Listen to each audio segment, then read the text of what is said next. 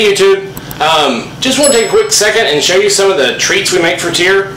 Uh, that way we get all his nutrients into something that he actually feels like he's is something special he gets to get. So where most dogs it's kind of hard to get them to take their vitamins and you know get them to take a pill. Uh, doing it this way that makes it really easy to get him to take his eat his treat and uh, get his uh, daily vitamins. So um, somebody actually saw me feeding these to him the other day, and they're like, "What is that? Oh, that looks great. Oh, well, I'd love to make that for my dog." So I told them the recipe, and now I'm telling all of you. Um, basically, uh, we'll, we will put a list of ingredients either in the description or on like a little separate, you know, insert here.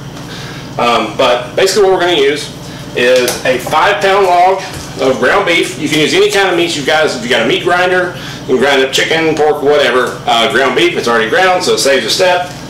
Um, I'm doing with five pounds of beef, I'm going to use about a cup and a half of eggs. I use the um, liquid eggs so they're already pasteurized, cuts down any kind of of bacteria growing. Um, I use the Dyne that you've seen me put in his food before. Um, we use about two thirds of a cup of Dyne if we're doing five pounds of food. Um, if I'm doing like a half log or a half, you know, batch of these, then I'll use about a third of a cup of this. And then the important part is his daily multivitamin that we put in here.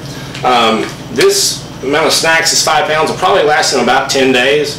So I've got 10 days, or 10 of these um, vitamins have been crushed up and then powdered and put in here. So this is what we're going to add to his uh, snacks so that he gets his vitamins every day. So um, pretty basic, pretty simple.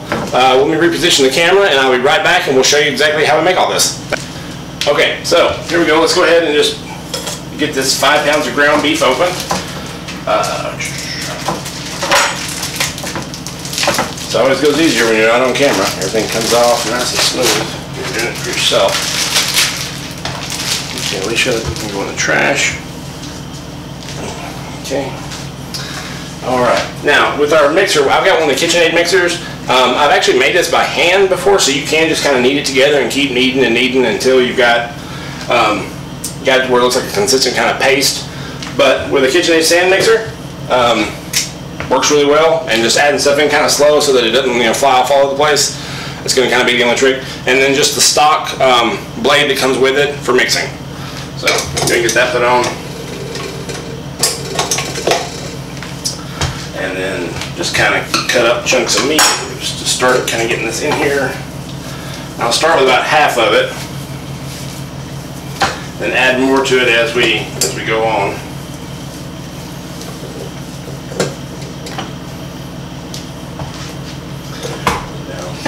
I'll go ahead and add some of the egg in. And then just start this on slow. Kind of keep my hands there for a second to let it kind of get started. Make sure it's not going to throw a piece. I've had this thing kick up egg and meat and throw it all over the place before. Even though Tyr enjoyed that, I, I really didn't. So.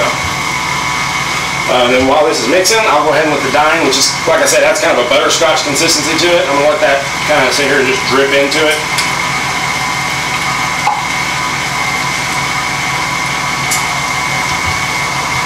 One little cake spatulas, batter spatulas, whatever you call it.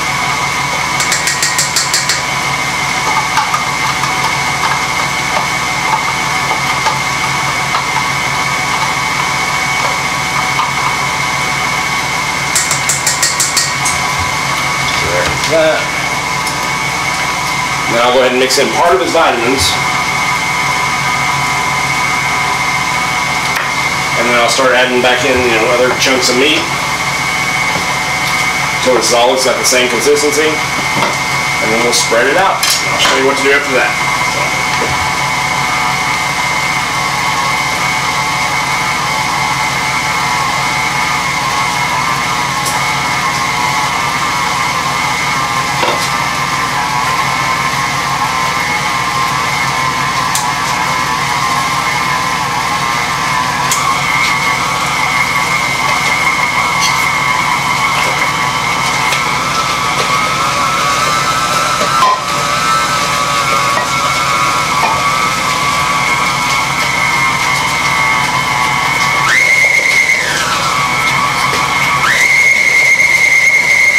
Probably a little loud on camera, but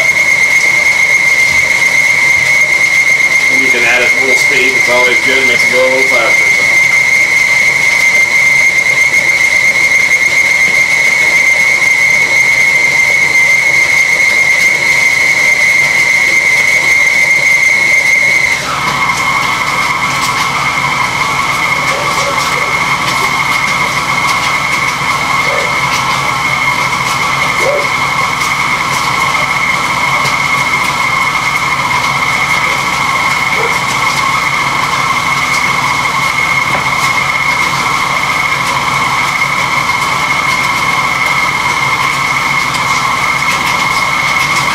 like that, uh, pink hot dog stuff they used to talk about on the news all the time, that that was what was being processed in all your food.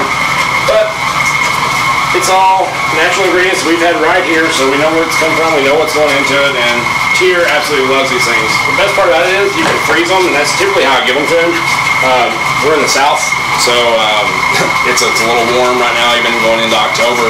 Uh, yesterday I think it was like 94, 95 degrees outside, so nice little warm day. And uh, with these being uh, frozen, Tyr loves them. Um, now, if you do want to uh, take these somewhere with you, you're not going to have a way to uh, refrigerate them. Um, take a saucepan, put a little oil in it, or vegetable shortening, just whatever you feel comfortable giving to your dog. Um, get that nice and hot, and then just sear these on both sides, and you'll, um, you know, that way you'll be able to take them with you.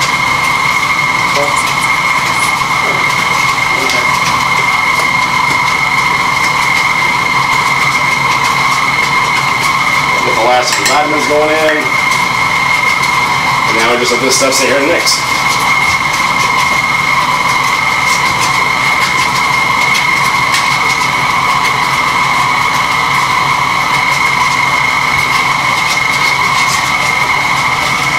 I don't know about you, but I use way too many paper towels whenever I'm in the kitchen. So.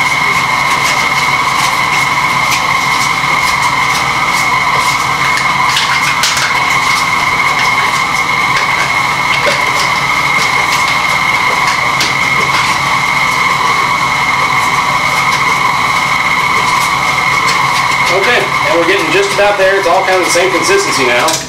So just turn our mixer off, lift this up and out, and get all this meat off of the mixing blade itself. Which takes a second because the meat's got a little bit of a fat content to it, so it's gonna be kind of stringy. And once we got all that beef off of there, just go ahead and get that into the sink. And then we can We can go ahead and get all this spread out for you. Now, this is the best part about this. Like these treats right now, like this will be very hard to kind of you know knead up and make into treats for a dog. All you gotta do, take a cookie sheet, basically take anything that's got a boundary on it, depending on how big of a batch you want to make of these. Take a bowl, take you know a pan, take anything you've got that has a little bit of an edge to it, so that you can put a layer of it down. And then just take this stuff right here, and basically dump it out on your cookie sheet.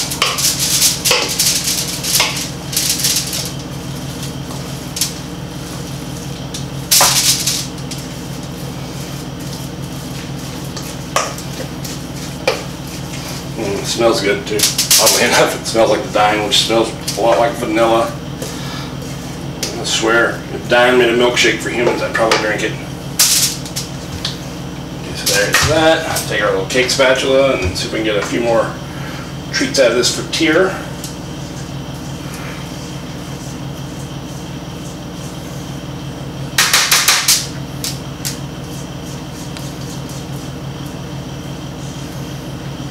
Okay. That's good enough. Bowl over there. All right, and then the next thing I'm gonna do is just mash this down to where it's nice and flat.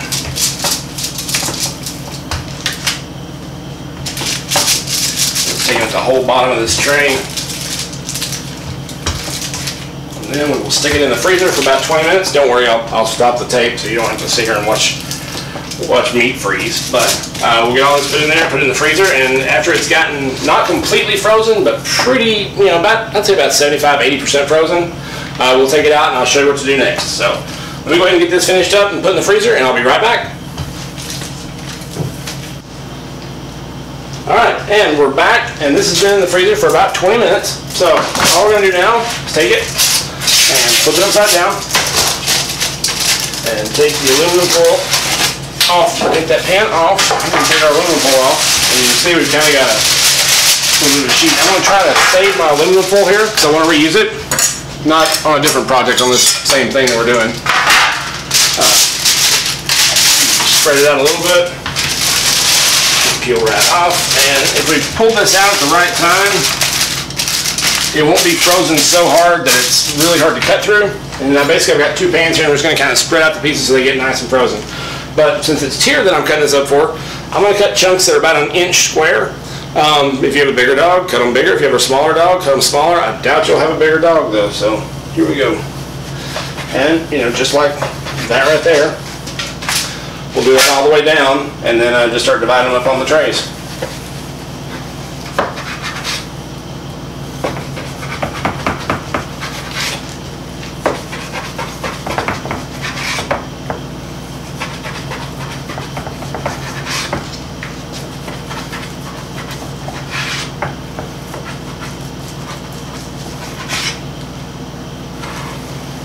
If I had a pizza roller, might work. If I caught it just the right time it wasn't too frozen.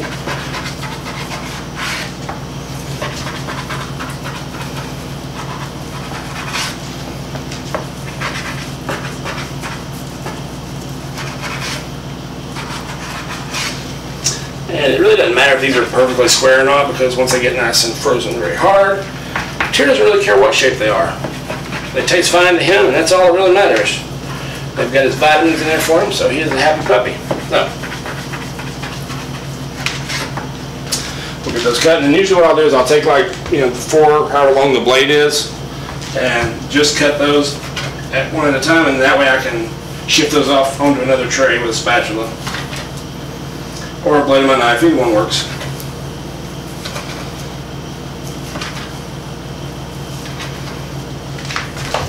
And I'll just take those a row at a time and just kind of drop them back on my trays to get them a little spread out so they freeze a little better. And then after they've frozen a second time, got really nice and hard, and I'm talking like, you know, you leave them in there for overnight, a couple hours at least.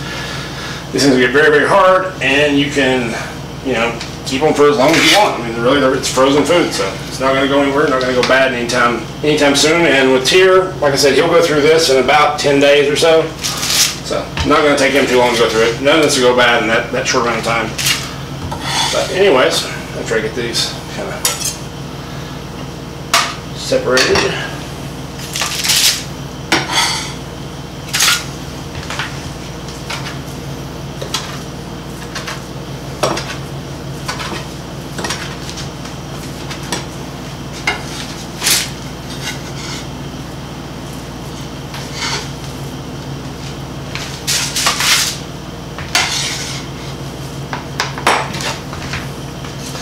Might have some that tend not to, tend to stick together a little bit. And Usually it's in the middle because that part's the last to freeze really good.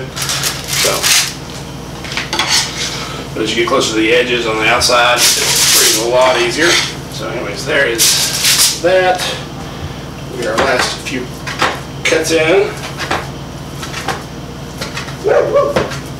That's Marshmallow. She's barking at something. She's always barking at something.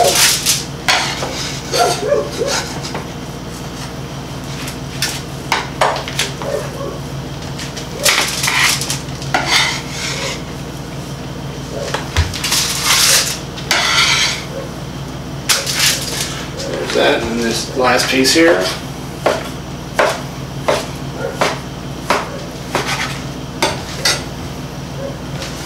Just kind of scatter those out on either tray, just to, you know, find some place for them to, to go. And we're done. Okay, so that's it. And so I've got all those treats kind of set out for Tyr, you know, and I'll give him four or five of them at a time, you know, whenever we're working on tricks or what have you. Um, and then when they're done, they go in the freezer, in the bag like that. And then I, usually I'll put like a little bit of cornstarch on them when I put them in the bag. That way they just don't stick together.